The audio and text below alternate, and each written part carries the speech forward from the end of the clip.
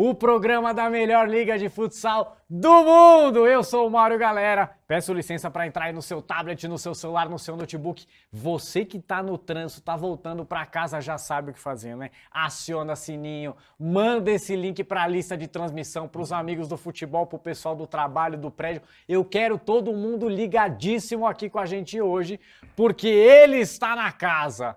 Crack is in the house. Paulinho japonês, você viu? Hoje eu tô gastando, hein? Hoje eu tô que tô. Meu parça, muito boa noite. Muito boa noite. Mais uma semana. Mauro Galera, muito boa noite a todos que estão aqui no Ligados da NNF. Quinta rodada já encerrada, sexta rodada já iniciada. Você vai acompanhar tudo aqui com a gente, né? Gols, defesas. Queria aproveitar, Mauro, queria mandar um abraço para a galera de Carlos Barbosa, equipe da CBF, com essas chuvas que tá, estão acontecendo no Rio Grande do Sul. Tiveram ontem uma dificuldade gigantesca para voltar para casa estão mais seguros. Então, nosso abraço aí, espero que todos estejam bem e que voltem para suas famílias aí com segurança. É isso, fechado. Todo o nosso apoio para a galera lá de Carlos Barbosa. E vamos começar falando do nosso vestiário. Tem camiseta nova, Opa. hein? Tem camiseta nova. Vem para o meu ladinho, Paulinho. Vem aqui, ó. Vamos começar. trouxemos. Já, já frequentaram o vestiário. Temos Marreco, são Lourenço, Jaraguá, e, e a novidade? Brasília, né? É, a gente sabe lá o Marreco, né? Equipe que está fazendo uma boa liga, já foi semifinalista de liga. São Lourenço, que é a surpresa boa, né, por enquanto, da Liga Nacional. Invicta, empatou em BH num jogo que seria uma prova de fogo e se saiu muito bem. Jaraguá, que vai muito bem na competição também, né? A segunda maior vencedora de ligas nacionais com quatro ligas e a equipe do Brasília, né? Que a gente sabe que está com dificuldades, mudou de treinador também, mas é aquela situação que a gente sempre fala aqui, né? Precisa pontuar para tentar fugir do rebaixamento e, obviamente, tentar se classificar. Mas a camisa é linda. Hein? A camisa é Olha é muito bonita, hein? Ainda não engrenou na liga, mas a camisa, a turma de Brasília, Pode mandar para tá? nós, né? Opa, eu, pelo meu porte, dá para ver que eu uso P, né? Ah, uma P e uma M, ó. Tamo muito bem-vindo. Craques, por favor, pode ir lá, deixa eu dar boa noite para o meu maestro que já está conosco aqui, meu craque, meu danadinho, senhor Tel José. Muito boa noite.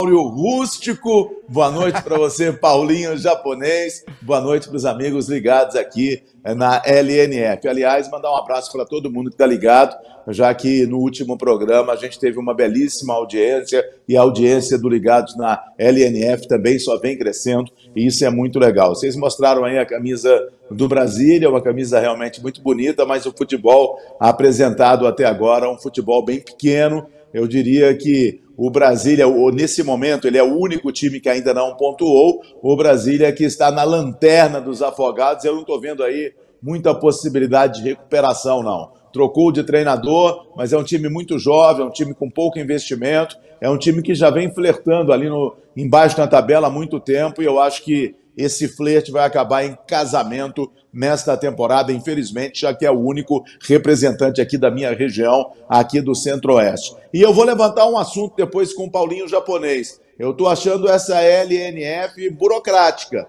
Eu não estou vendo um contra um, não. Eu estou vendo muito toquinho de bola, muita marcação forte, mas eu estou sentindo falta daquilo que o futsal brasileiro sempre teve, que foi um contra um, foi a qualidade individual. Os goleiros estão sobressaindo, mas pouca gente de linha eu tenho visto aí sobressaindo. O homem está on fire. Bota aí, meu diretor. Theo está on fire. Tá faltando dibre. É dibre que o povo quer ver, Theo José. Eu concordo. Eu tô contigo nessa. A gente vai começar a falar das mudanças no mercado, mas para falar sobre isso, deixa eu convidar uma pessoa muito especial. Aliás, já agradeço a disponibilidade de estar conosco nessa noite. David Hudson, muito boa noite para você, o novo técnico do Cascavel. Seja bem-vindo. Boa noite, é uma satisfação estar falando com vocês. E eu também concordo com o Theo, né? Precisamos de mais drible. E ouvi dizer que você e Paulinho parece que se conhecem, né, Paulinho? Que, aliás, quem Paulinho não conhece no futsal, meu Deus? Pra mim ou pra, ou pra ele quem? agora? Ah, vai, vai que é tua. Ah, o. Eu chamo o David Hedson carinhosamente de macho, né? Tem essa afinidade com ele. É, David, muito bom dia. Cara, é assim, fico muito feliz de você estar mais uma vez numa grande equipe, né? Você que teve as conquistas aí pelo Corinthians, a Liga Nacional, o Campeonato Paulista, te parabenizar por isso, te desejar muito boa sorte E assim, né, agora a gente às vezes conversa aqui eu e o Mauro, né, que muita gente fala que o ginásio da Neva é o ginásio mais difícil de se jogar, e agora você vai ter isso a seu favor, né? E logo uma prova de fogo no sábado aí enfrentando o Corinthians, né? Então, vai começar quente a coisa, hein, Mauro? Não, que bela estreia vai ser, né, David? Está preparado esse coraçãozinho aí? Está preparado para isso? Estrear contra o ex-clube na arena mais difícil de jogar do Brasil? Paulinho é um era um ídolo que virou meu amigo, né? E é um cara que sabe tudo de futsal, que eu sou muito fã dele, ele sabe disso. E assim, cara, é, são as coisas da vida, né? É, saí do Corinthians há pouco, pouco mais de oito dias, né? E agora já estou aqui no Cascavel, essa equipe gigante também. E é, todo mundo sabe como é difícil jogar aqui. Espero agora ter isso aqui a meu favor. Espero não, vou ter isso a meu favor.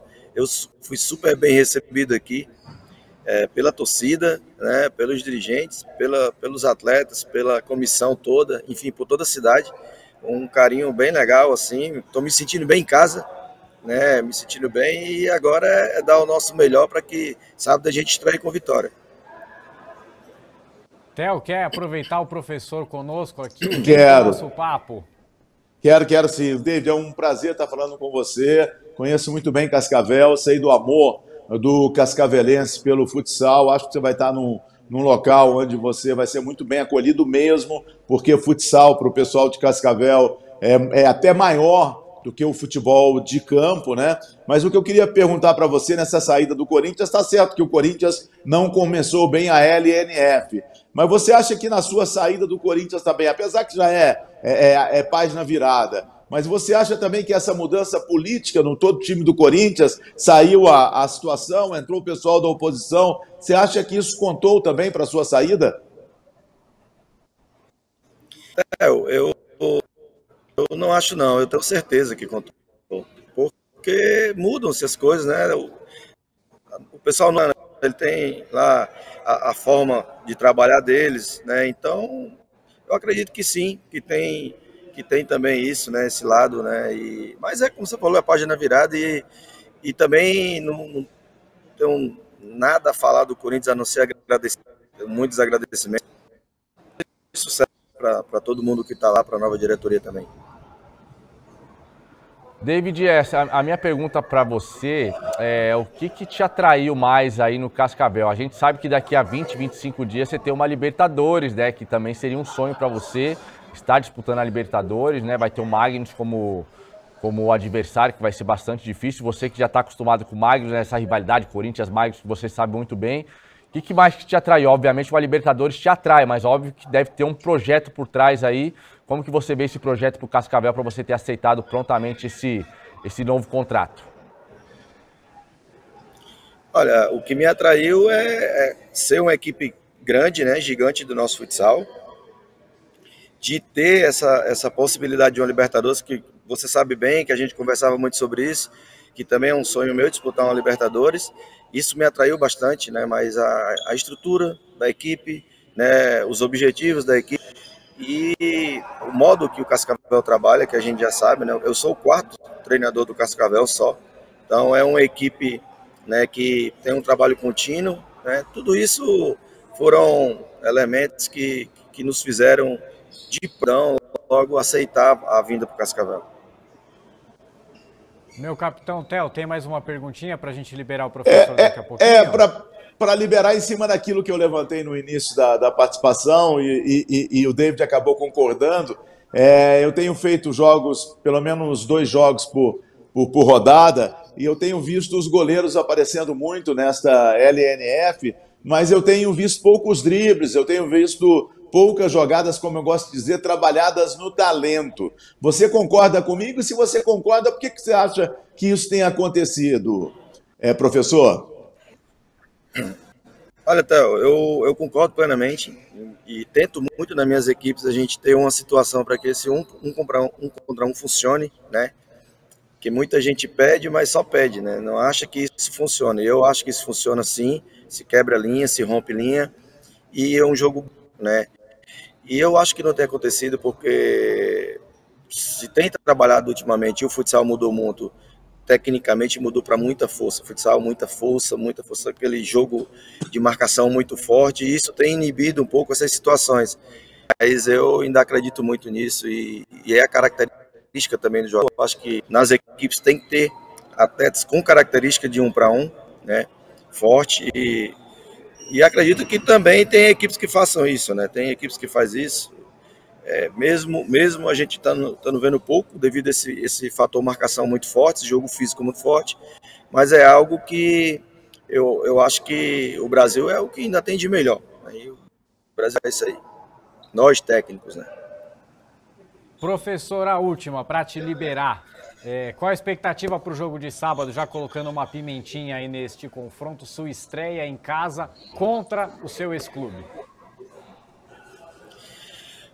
A expectativa é a melhor possível, né? Agora o meu foco é aqui no Cascavel, né? É fazer a, essa equipe jogar bem, fazer essa equipe performar da melhor forma. É, a atmosfera que tem aqui em cima do, do jogo é muito bacana. É, e fazer um grande jogo. Fazer um grande jogo, esse é o nosso pensamento. O nosso foco é todo aqui. A gente sai vitorioso, né? Para que a gente consiga subir na tabela, subir na liga. Né? Temos um objetivo de, de ficar ali perpetuando entre os quatro, e, e, hoje nós estamos um pouco longe disso, mas esse é o primeiro objetivo da gente, é, é vencer, vencer, passo a passo, próximo jogo, né? E seria contra qualquer equipe, e vai ser do mesmo jeito com o Corinthians, que é uma grande equipe, é um time de tradição no nosso futsal, um time muito grande, então nada melhor do que uma vitória contra uma grande equipe. É, só para é, meter a minha colher em cima do que o Theo levantou, né, e que o David também opinou, Sobre os goleiros, né, terem aparecido mais, né, que o Theo falou, obviamente os goleiros têm que aparecer debaixo das traves, que é onde, né, a principal função deles, mas eu acho que os goleiros têm aparecido muito também, porque hoje a gente vê grande parte dos times com menos jogadas é, ensaiadas para sair de uma pressão, utilizando muito mais o goleiro como um apoio para sair de pressão. Então os goleiros estão aparecendo mais, jogando mais com os pés. A gente tem visto isso demais. Então acho que uma, um dos motivos dos goleiros aparecerem é isso. E sobre um contra um, eu também concordo, né? Quem não gosta de ver um contra um, inclusive quem viu o jogo ontem, né? Magnus e o Moarama, o Moarama fez uma grande partida e é, o primeiro gol do Magnus saiu através de uma jogada individual. Então, os poucos que tem, que têm aparecido, eles têm sobre, é, é, sobressaído, né? O Mendonça ontem fez uma jogada individual que saiu o gol, o Leandro Lino se sobressai, o Fernando no Jack, o Duduzinho no Pato, né? Bruninho no Jaraguá. Então, assim, alguns jogadores têm aparecido nessas características. Obviamente que a gente gosta de ver mais, mas esses valores né, que eu citei têm aparecido, na minha opinião, têm aparecido bem na liga e têm conseguido, através de jogadas individuais, em jogos apertados, decidirem através de uma jogada individual. Falou o homem que entende. Quem sou eu para discordar agora, meu Brasil? Não, eu dei a minha opinião, né? O David tá aí e o Theo também, se quiserem, né? Podem falar em cima e discordar, obviamente, também. Não, concordo sim, e a questão do goleiro que você falou, né? Pela característica também dos goleiros, né? É, se você tem um goleiro com característica que joga com o pé, muita gente tem explorado isso para ter uma superioridade numérica rápida. Uma vantagem numérica rápida também faz um sistema de jogo em relação a isso. E como você falou, mas quem não tem ou quem prefere o, o 4x4 normal vai ter que trabalhar essas situações, trabalhar a série de pressão, trabalhar a construção de jogo, né, até chegar ao ataque.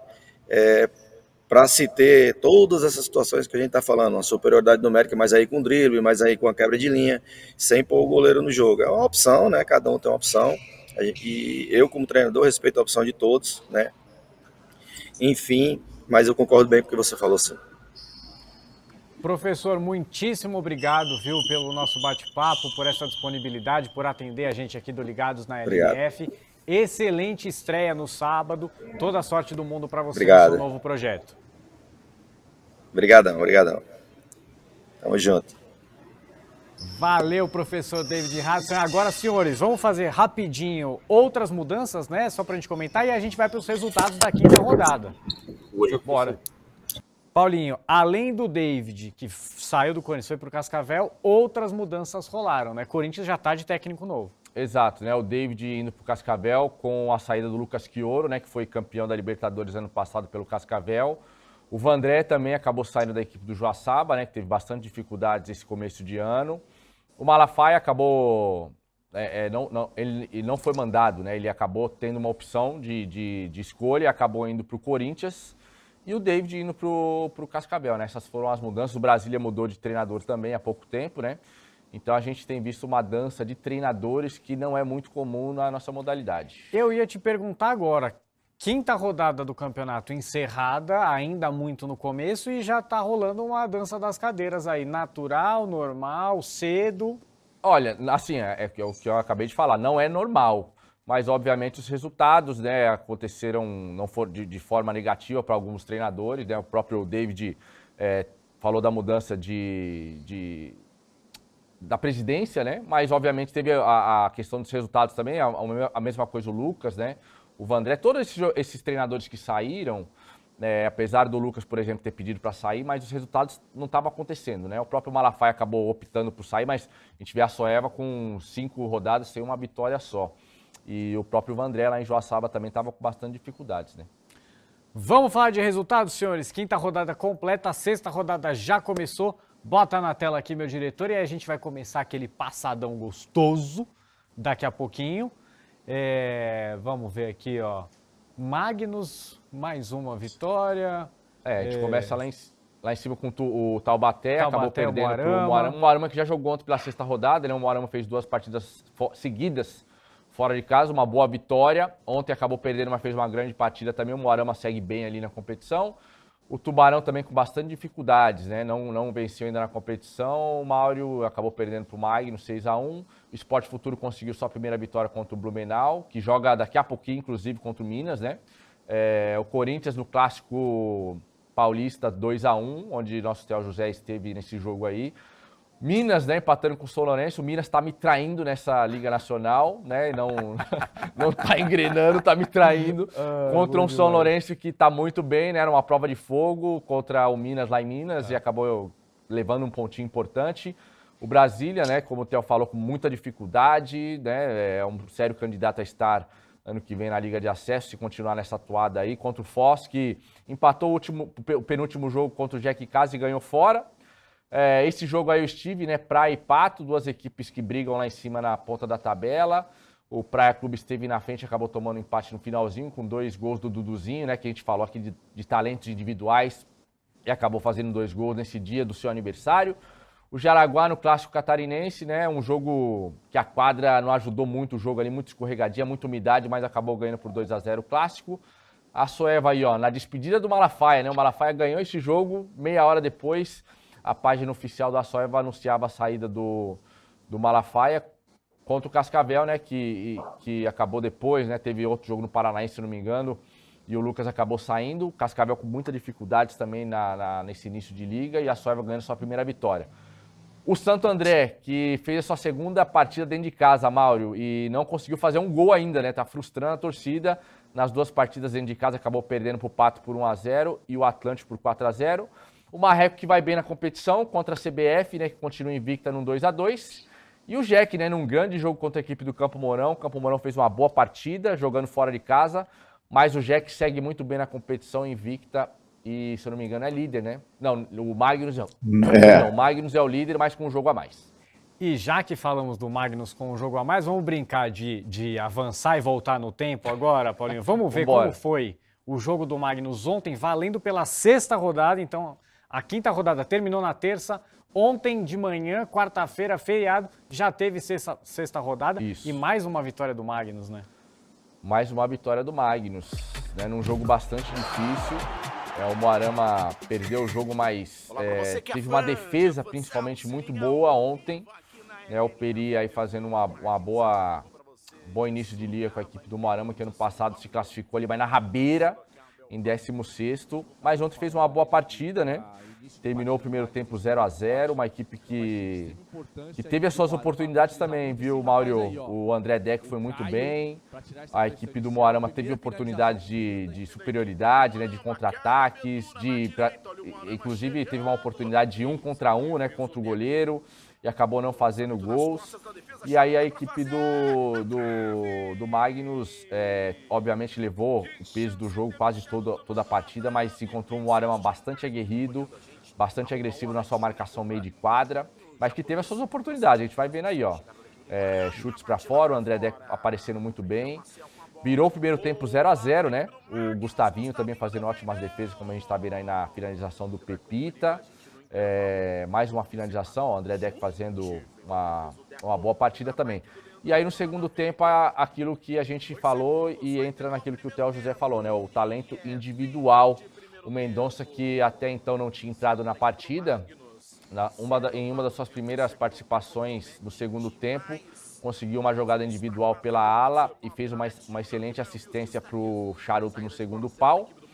E depois no finalzinho, né, um erro de passe da equipe do. Aí, ó, a gente vai ver o, a participação já do Mendonça, né? E aí no finalzinho do jogo, a equipe do Marama acabou errando um passe numa zona que não pode errar contra o Magnus. E aí acabou tomando o segundo gol, mas fez uma boa partida. A gente vai ver no gol aí, ó. Jogada individual do Mendonça. Chute no segundo pau, charuto. E essa jogada no segundo pau é, é dificílima de marcar. Você piscou, o cara tá lá e só bota para dentro. E é, e é dificílimo jogar lá, né? Dificílimo. Jogar na, na Arena do Magnus é, é um dos caldeirões também, né, Theo? É, o, o Magnus faz uma temporada muito sólida, né? Começou tropeçando e agora vem com cinco vitórias, né? Chega a 15 pontos. Eu vejo dois times hoje, lógico que a gente só está começando, e esse tanto de troca de treinadores, isso aí vai refletir para o bem e para o mal, mas eu vejo hoje o Magnus e Joinville os times mais sólidos dessa LNF. E o Magno tem essa história, né? O Magnus vem aí encaminhando cinco vitórias, então chega a 15 pontos, deixa a pressão mais uma vez na rodada. A gente viu na rodada passada, o Magnus jogou antes, venceu, assumiu a liderança, jogou a pressão em cima do Joinville e a gente vê essa pressão de novo em cima do Joinville. O Joinville tem de vencer para voltar à liderança da LNF. O Magnus é muito forte, gente, é muito forte em casa, muito forte fora. É um time com uma estrutura fantástica, é um time que tem um ótimo goleiro, tem uma boa defesa, tem bons jogadores eh, com relação a, a, a, a, um contra um, bons jogadores de ataque.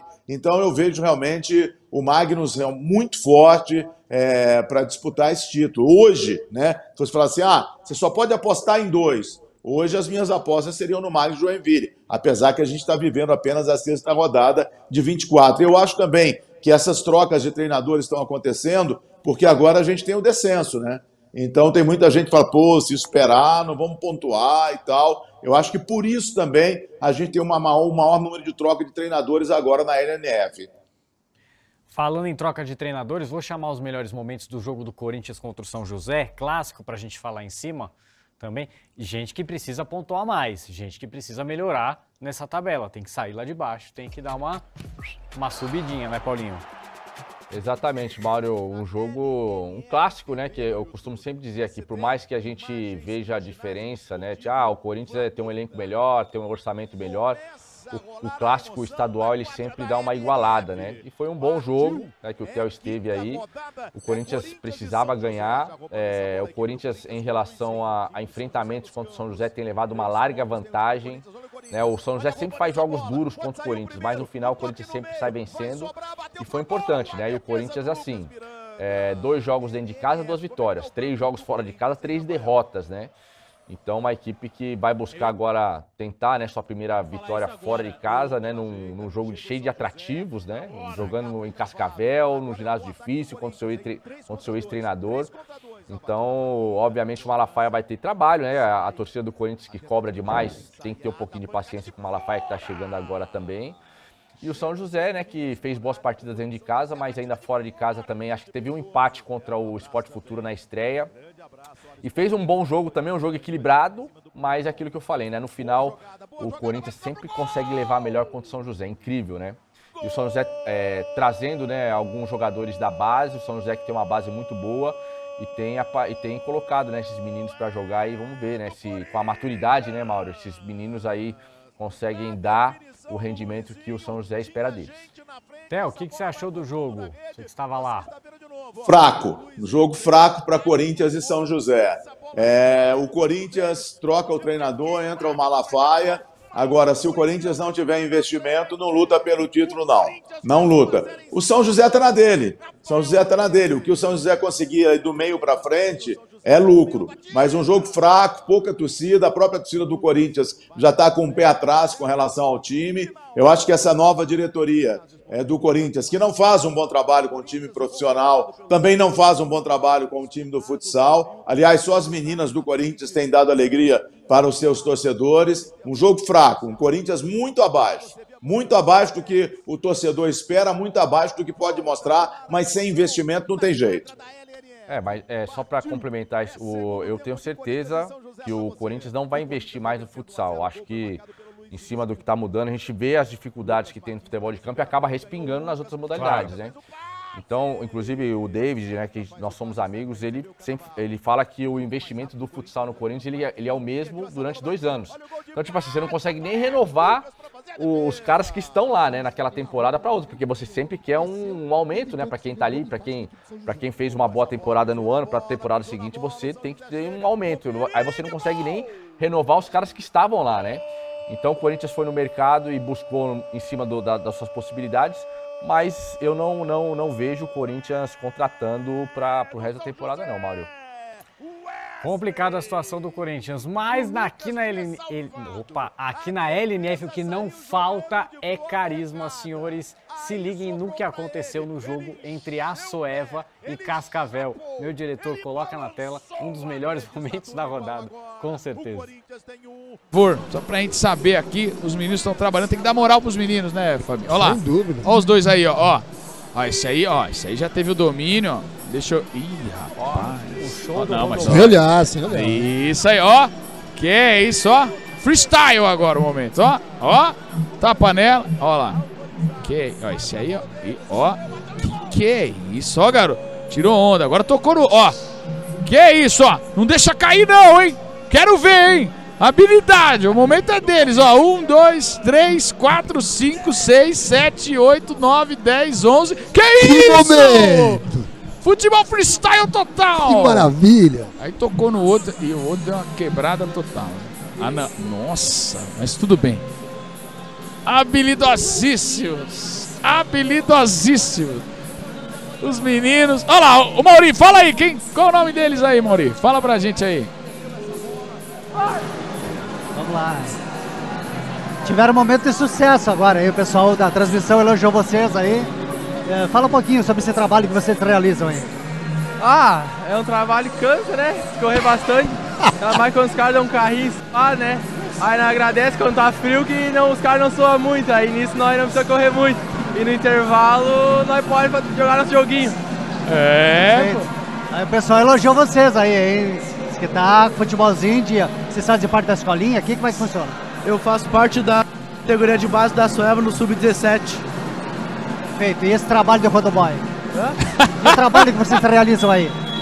Ah, é cansativo às vezes. Perfeito. Tá aí, Mas pega um preparo físico enorme. É, isso é bom, isso sensacional, é bom. pô. Sensacional. Os caras são bons demais. E bem, hein? Bem. E bem. Bem, bem demais. Isso aí, Mauri. Perfeito. Não, o repórter está voando e tá bem demais. Foi lá, começou. Ah, mandar meu abraço pro Raoni, o Fabinho, o Mauri que estavam na, na transmissão. Que carisma, hein, Paulinho? Torcei para ficar frio, que os caras soam menos, não precisa passar o rodo na quadra. Ah, é, Sensacional. É trampo, né? Os meninos e as meninas também, né? Nós temos as meninas que trabalham também e, e assim, a grande maioria da, dos meninos e das meninas que trabalham como rodoboy ou rodogear, né? Elas, eles fazem sempre parte da base, né? A gente teve também no jogo do Jack as meninas também, né? A Drica também entrevistou as meninas, então é muito legal, né? E o pessoal traz, né? E, e, e eles gostam, né? Porque eles assistem o jogo ali perto, né? Vislumbram, né, mais para frente estarem ali também, então é muito legal e a grande maioria joga nas categorias de base das equipes. E traz um clima leve, uma brincadeira gostosa na nossa transmissão. O Theo José tá aqui, não vai me deixar mentir.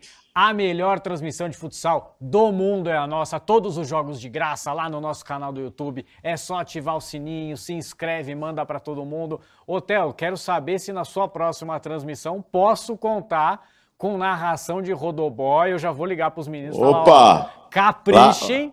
que o Theo José tá de olho. Lá em Tubarão, lá em Tubarão. Vamos, vamos fazer Tubarão Esporte Futuro. É a nossa próxima transmissão nessa sexta-feira. A gente ia fazer o jogo também do Carlos Barbosa contra a Soeva, mas esse desastre que está acontecendo, desastre natural que está acontecendo lá no Rio Grande do Sul acabou adiando essa partida. É, o Rio Grande do Sul realmente está precisando de muita ajuda, de muita oração, de muita energia positiva, porque pelos relatos que eu, que eu tenho visto, deve ser a maior, a maior enchente da história do Rio Grande do Sul. Então, muita força aí para o pessoal de todo o Rio Grande do Sul, que é tão forte também no futsal, tem tanta tradição no futsal. Ali, Carlos Barbosa, que fica na Serra Gaúcha, perto do Vale dos Vinhedos, é uma região que geralmente não tem grandes enchentes, mas dessa vez a coisa também pegou ali o Vale dos Vinhedos. É isso, é o nosso abraço para eles, toda a nossa solidariedade. Voltando aqui para a quinta rodada, vamos falar um pouquinho de Santo André contra Atlântico, dois times que estão em, em, situações bem diferentes no campeonato, né, Paulinho? Temos os melhores momentos também para a gente comentando em cima. Sim, né, o Santo André, como eu falei, né, o Santo André é, volta a jogar no seu ginásio, né, que teve dois, duas temporadas jogando em São Bernardo, mas Curiosamente, Mauro galera, os dois jogos que a equipe do Santo André fez em casa, perdeu os dois e não conseguiu fazer nenhum gol. Né? Então a torcida compareceu, né? Foram dois jogos importantes, primeiro contra o Pato e agora contra o Atlântico. Que eu ponho o Atlântico também nesse bolo aí. Eu acho que o Atlântico é uma equipe que vai brigar também pelo título. Tá trazendo o pivô, o Vilela, que é um grande pivô também, vai ajudar bastante acabou perdendo o primeiro jogo para o Mina, Minas, lá em Minas, e depois ganhou todos os outros jogos. É uma equipe que vai se entrosando, uma equipe muito intensa. O jogo foi muito intenso durante praticamente os 40 minutos, foi um bom jogo. E a equipe do, do Atlântico ganhou por 4 a 0 né? É, a equipe do Santo André teve as suas oportunidades, como a gente vai ver aí o Xaropinho, teve o apoio da torcida, bastante gente lá no. aqui pertinho, né? No Noêmia mas é infelizmente para a equipe do, do, do, do, Sidão, né, que conseguiu uma vitória importante, sua primeira vitória fora de casa contra o, o Joaçaba, não conseguiu é, furar né, a defesa da equipe do, do Atlântico. E quando furou também encontrou o João Paulo muito bem na partida, a gente vai ver no primeiro gol do Richard, é uma, uma deixada ali do Gessé, é, assistência do Deivão e o, o, Atlântico fazendo 1 a 0 E o Atlântico é uma das equipes que vai chegar também. Aposto muito no Atlântico, uma equipe que manteve, perdeu peças importantes ano passado, mas manteve uma intensidade gigantesca, manteve a característica.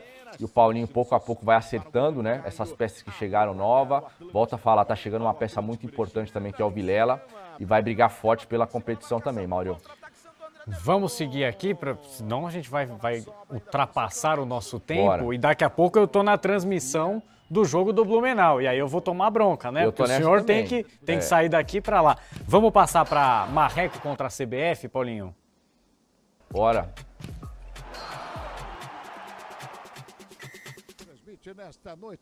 Marreco também fazendo uma boa competição, né? Marreco, se eu não me engano, acho que tem uma derrota na competição. A CBF segue invicta, né? E aí, assim, o Marreco em Francisco Beltrão é sempre muito forte, né? Uma equipe que o Banana também está encontrando um equilíbrio. Tem, tem principalmente o Ligeiro e o Atirson, né? E o goleiro Rafa também tem feito uma boa, um bom início de liga. E em casa, né? Em casa a torcida sempre apoia e contra Carlos Barbosa, que é um atrativo também, sempre leva bastante gente. Contra uma CBF que a gente volta a falar, né? A gente espera que esteja todo, todos bem ali na, na volta para casa e uma equipe que investiu muito, né? Investiu muito, Mauro, para essa temporada. O técnico Bié tem, uma, tem um grande elenco aí para poder brigar também. Aquilo que a gente coloca o, o a CBF e o Praia na mesma prateleira. Muito bons elencos, com muitas contratações e com uma, uma, margem de melhora, né? Porque durante a temporada vai entrosando esse, esse, elenco aí e também é uma equipe que pode brigar lá em cima. E uma camisa pesada, né, Theo? Quando a gente fala de tradição de, de futsal, a, a maior, CBF né? tá de brincadeira. Ah, não tenha dúvida, não tenha. É, é o maior vencedor da história da liga. É, é um time também que só quando entra em campo já entra com essa camisa forte. Eu acho que o Carlos Barbosa também é um time que vai lutar. É um time que tinha tudo para vencer essa próxima partida é, contra a Soeva, porque jogava em casa. O jogo foi adiado de uma certa forma, é, é, por causa de uma, de uma tragédia natural, mas de uma certa forma dá um respiro, porque é, existem as competições regionais. Mas eu não tenho dúvida que Carlos Barbosa vai estar sempre ali lutando entre os cinco e esperando a oportunidade para lutar pelo próprio título, né? E falando em lutando entre os cinco, vamos passar para Jack Campo Mourão, que Jack é outra equipe que está muito sólida no campeonato, fazendo uma belíssima, um belíssimo começo de, de LNF, né? Já falamos aqui mais cedo que, que que tá muito bem na competição, mas tem o- o- os melhores momentos desse jogo. Foi um bom jogo também, né? Campo Mourão também. É... Campo Mourão ele veio de uma sequência ruim, né? É a terceira derrota seguida da equipe do Campo Mourão. Mas jogou bem. Fez um bom jogo contra o Joinville. é, Obviamente em cima das suas estratégias, né? O Joinville levou o peso do jogo praticamente o tempo inteiro. E aí, inclusive o primeiro gol, né? Uma coisa que eu comentei no jogo. É muito difícil para a equipe do Campo Mourão marcar o Jack. E o Jack tem um trunfo na mão, Mauro, porque tem dois goleiros que sabem jogar muito bem com os pés. E aí, quando o Jack tem um ataque pelo lado esquerdo, vem o Matheus. Quando tem o ataque pelo lado direito, aí vem o Pato.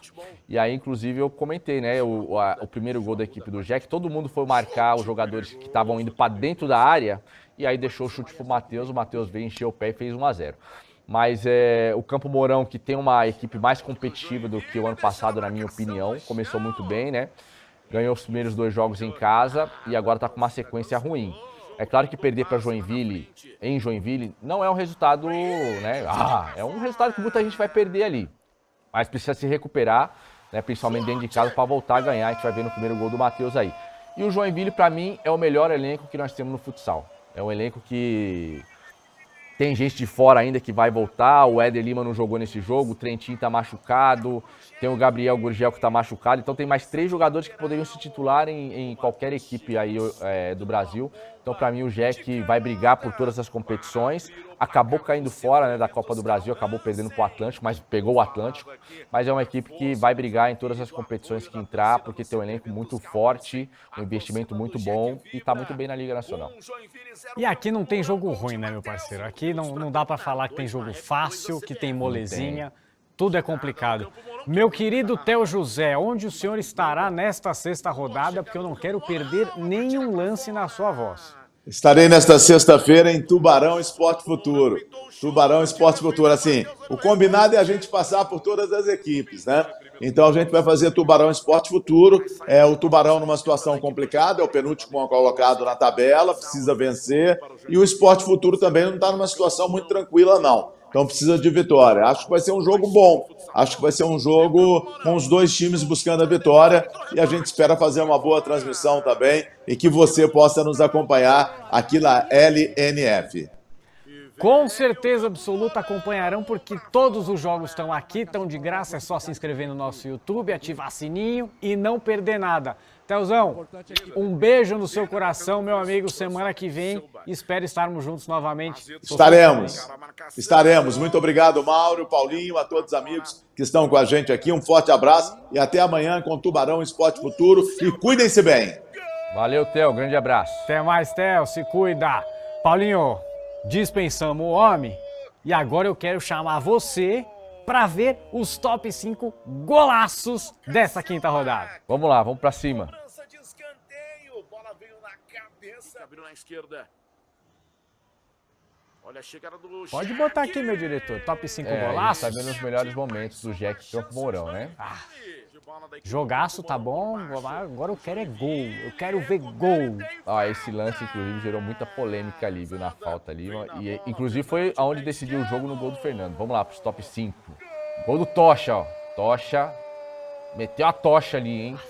Pra cima do Lucas Gomes. Jogo onde a equipe do Tubarão perdeu em casa. Foi o único gol da equipe do Tubarão. Aí Mas o Tocha, virada, hein? É, pra cima do Lucas Gomes, né? Jogador que tá brigando pra ir pro Mundial, um excelente marcador, que valoriza ainda mais, né? Ó, virou pra fora, pancada pra cima do André Deco, golaço, né? Aí esse gol aí é do Cascavel, né? Do Cascavel não, do Vini Escola da Soeba. Pensei que o Cascavel ia fazer esse gol aí. É aquele gol que, assim, né? é- é- deu uma desafogada, né? Tava Vacilou. 2x1, ó. O Dil corta a bola e cai no pé do Vini Escola. É que a gente vê assim, né, Mauro? Tá sem goleiro e É, tal, tá mas fácil. é fácil, Ah, né? vai Mas ali nessa. tem 30 metros ali de distância e o Vini pegou muito bem. Ao gol do Guilherme, né, ó. Gol de empate. Que chapada, hein? Uma chapada de campo que a gente chama, né? É, o Minas, que eu volto a falar, tá me traindo nessa Liga Nacional. Tem um muito bom elenco, né? Mas está com dificuldades para vencer. E, tava, e saiu atrás, né? Inclusive, tá- o, o gol do Biel também nesse jogo aí foi um, foi um golaço do- da equipe do São Lourenço. Gol do Suelton no- na vitória do Atlântico contra o Santo André. Aquilo que eu falo, né? A equipe do, do Atlântico tem uma característica muito agressiva, roubou a bola na primeira linha e o Suelton, como se diz da Espanha, um taconaço. gol de calcanhar ali para vencer o Caio. Belo gol do Suelton, jogador que enfrentou aí uma lesão muito grave, voltou muito bem. E aí o gol da equipe do. O canhoto, né? Canhoto, Nossa, que gol da golaço. equipe do Marreco no empate contra Carlos Barbosa. Foi um belo gol porque além desse toque de, de, de maestro aí do, do, do Canhoto, teve todo um, um envolvimento da equipe do, do Marreco, todo mundo tocando na bola e o Canhoto finalizando aí com muita classe. E já que mostramos os golaços, vamos mostrar quando o goleiro venceu, né? Vamos mostrar o top 5 defesas da quinta rodada.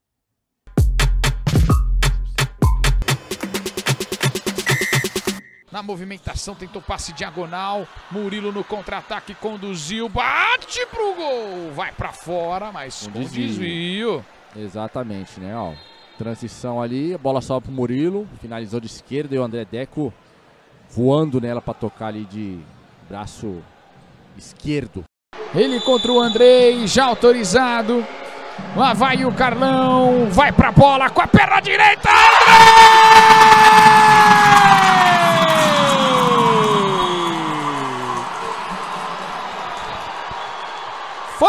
Faz a defesa, o goleiro da Soeva, incrível! Perdeu essa bola. Olha o time do São José na cara do gol. Bateu Lucas, salvou. Tem sobra. Lucas, sensacional.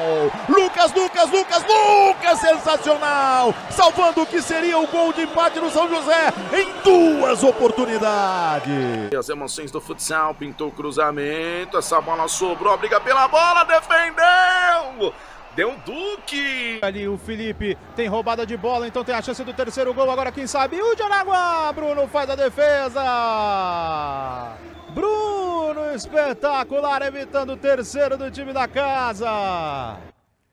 Tão afiados, hein, Paulinho, os goleiros. Defesa de pênalti, sequência de defesa do Lucas. Caramba, hein? Toda a defesa é importante, né? O Mauro, assim, a gente viu ali o André Deck fazendo uma boa defesa, o Bruno, o Lucas. Sobrou a briga pela bola!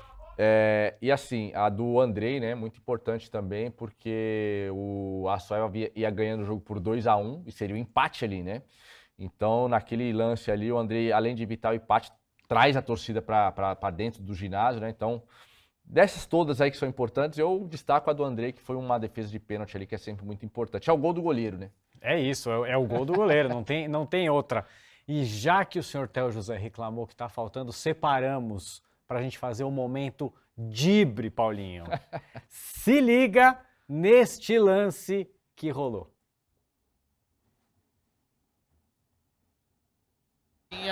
Consegue a frente, protege o Fabinho. Uh, essa aí passou, essa aí passou, essa aí.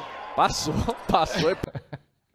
É, eu estive, Ah, essa aí passou, Paulinho. estive nesse jogo com o Raoni, né? E assim, é, um dia, é aquilo, né, Mauro? É um dia da caça do caçador, né? O Fabinho acabou dando um rolinho pra cima do Duduzinho, que é um dos cavadinha, melhores um, um tá a um que nós temos hoje no nosso país. E aí foi fazer aquela dobra de marcação passou, pra cima do Fabinho, passou, essa aí. E aí, ó. Passou, Toma. passou e Passou e passou liso. Passou e passou bonito. Para não perder nenhum lance tipo esse, se inscreve no nosso canal do YouTube. Todos os jogos estão lá de graça para você. Não tem pegadinha, viu, Paulinho? Não, Não é tem. aquela coisa de, ah, o primeiro mês é grátis, depois vai cobrar uma taxinha. Não tem taxinha, irmão. É tudo lá de graça, o melhor futsal do mundo aí na sua tela. Não vacila, vai lá, se inscreve, chama os amiguinhos, chama todo mundo. Tô sabendo, Paulinho, que rolou a seleção do mês de abril. Sim. Vamos todo- dar uma passadinha rápida de quem foram os. Bora lá. que- Quem vai ser eleito à seleção É. do mês, quem são os candidatos Exato, à é. seleção do mês. A votação da seleção do mês, você pode votar aí na sua casa, viu? É só entrar lá no Twitter da LNF e mandar a sua seleção. Vamos lá, goleiros, estou até com a colinha aqui. Nicolas do Jaraguá, Matheus do Jeque e Jean do Praia. Fixos: Deivão do Atlântico, Cabreúva do Praia, Henrique do Jeque. Ala direita: Leandro Lino do Magnus, Bruninho do Jaraguá, Claudinho do São Lourenço. Ala esquerda: Fernando do Jeque, Renatinho da CBF e o Chape do Atlântico. E pivôs: Charuto do Magnus, Fabinho do Praia, Biel do São Lourenço. Técnico: Serginho do São Lourenço, Alemão do Praia e Cassiano do Jeque. Exatamente, eu acho que é uma boa, boa- uma, Uma- boa escolha, né? um- um Lembrando, pessoal, que é, é, esses são três de cada posição, né? E aí, através do Twitter, você vota lá para depois ter o craque da rodada, tá certo? E assim, né, Mauro? Eu fiz aqui uma conta rapidinha, né? Claro que a gente não vai agradar todo mundo. São 336 jogadores, né? 24 Só. equipes com 14 convocados. É, 336 e para 15, para 15 jogadores, só mais os, cinco, os três treinadores. Eu acho que, que é uma boa votação, né? É uma boa seleção. É claro que tiveram outros destaques, mas como a gente falou, a gente pode destacar só três. E aí, quem quiser, vota lá no seu time. Depois não adianta reclamar, né? Porque depois o pessoal vai lá nas redes sociais, ah, cadê o fulano? Fulano joga outra modalidade. Então você tem que entrar lá no Twitter, buscar o seu time, buscar o jogador da sua preferência e deixar o seu voto para que depois você não chore o leite derramado. Ah, eu já tô votando lá, já tô escalando. A minha seleção é Theo José no gol, Paulinho na esquerda, Raoni de fixo. Eu vou me escalar na direita e colocar o Avelar, nosso diretor, ali no pivô. É, tá vai bom? bem, Ah, vai bem, né? Acho que, olha, feio a gente não faz aqui, tá bom? Vamos dar uma olhadinha nos confrontos da sexta rodada, Paulinho. Pode botar na tela, meu diretor. Já começou, né? A sexta rodada que já começou. Magnus já jogou ontem e já ganhou. Então, Exato. temporariamente líder. O que esperar aqui? Vamos destacar alguns jogos, Paulinho. O que, que a gente pode esperar dessa sexta rodada? Grandes jogos aí, ó. inclusive daqui a pouquinho estarei ali em Blumenau e Minas, né? Blumenau, duas equipes que buscam sua segunda vitória, né? O Blumenau venceu uma, o Minas também venceu uma, até da- daqui a pouquinho. É, Tubarão e Esporte Futuro, onde o Theo vai estar também, né? Duas equipes que precisam pontuar. O clássico paulista ali, São José e Santo André, duas equipes que vêm de derrota, né? O Santo André pro Corinthians e o São José, o Santo André pro Atlântico, o São José pro Corinthians. Campo Mourão e Brasília, ó. Brasília, né? Não precisamos falar que precisa pontuar. E o Campo Mourão para tentar quebrar aquela sequência de três derrotas até agora. Cascavel e Corinthians, né? Já falamos sobre esse jogo aí, muitos Ali, atrativos, né? Chicote vai estar lá, lá em Chicote Cascavel. vai estar lá. É, só uma observação, a Soeva e a CBF foi adiado por conta das chuvas, então não vai ter esse jogo agora. Exato, né? Que é um clássico gaúcho também de, interesse, né? Bastante interessante. São Lourenço e Marreco, duas equipes que vão bem na competição, que ano passado não, não se classificaram, mas que estão brigando bem. O São Lourenço defendendo a sua, sua invencibilidade e o Marreco que né, perdeu apenas um jogo e vai buscar mais uma vitória. Joaçaba e Praia Clube, Joaçaba que a gente não sabe quem vai, ser, quem vai assumir, né, por enquanto. É, não sei se é, o, se é o Zé, que está lá, o Zé Henrique, que vai assumir. O Praia Clube também fazendo uma boa competição, invicto até agora. Esse aí é um bom hein? Ó. Atlântico e Jaraguá. duas equipes que têm, têm apenas uma derrota, né? O Jaraguá estreou. As duas equipes estrearam perdendo, né? O Atlântico para o Minas e o Jaraguá perdeu para o Moarama e depois só vitória. Então, grande jogo também. Ótimo jogo também, ó. Pato e Joinville, né? Lá, lá na Patolândia, o Pato é sempre muito forte contra o Joinville buscando a liderança novamente, que foi é, ganha pelo Magnus da ah, depois da vitória de ontem. E o Foz, ó, que vem né, de dois jogos, o empate em casa contra o Jack, venceu contra o Brasília, contra o Taubaté, que também precisa vencer, né, Mauro? Então, assim, muitos jogos bons aí, com todo mundo precisando pontuar, porque a gente sabe que esse ano tem o rebaixamento. Muito bom, seu Bruno. Daqui a pouquinho, então, só lembrando, tem Blumenau e Minas, Isso. né? Você sai correndo daqui, troca de estúdio, vai pra lá. Recadinho final pra gente encerrar este programa? Recadinho final, siga se inscrevendo no nosso YouTube, né? Estamos próximos. É, a, a meta agora é Passamos, 110, passamos né? os 100, os É, 100 tamo mil aí inscritos. 104, 105, né? Vamos partir para 110. E você está perdendo, né? O que seriam 300 jogos, né? Já, não- já não são mais 300, mas ainda tem muito jogo pra, por vir, né? E você é sempre muito bem-vindo. Se inscreve, deixa o seu like e acompanhe todos os jogos da Liga Nacional ao vivo e de graça, meu querido Mauro galera. Porque aqui é o melhor futsal do mundo e na semana que vem tem mais ligados na LNF e como o Paulinho falou, siga a gente nas redes, vai lá no Instagram, vai no Twitter votar na sua seleção do campeonato e óbvio, a gente tem um encontro marcado aqui toda quinta-feira no YouTube. Daqui a pouquinho tá começando o Blumenau e Minas, então já fica ligado, vai pra lá que vai ser um jogaço com este craque nos comentários. Semana que vem tem mais ligados na LNF. Tamo junto. Tchau.